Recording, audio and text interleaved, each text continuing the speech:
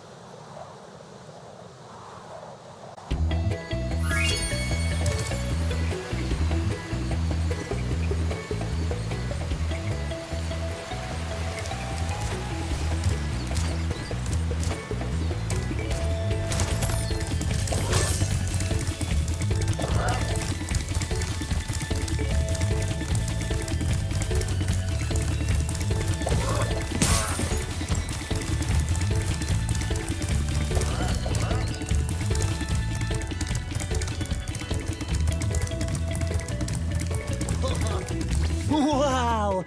I see you've been busy rescuing dragons, Spyro.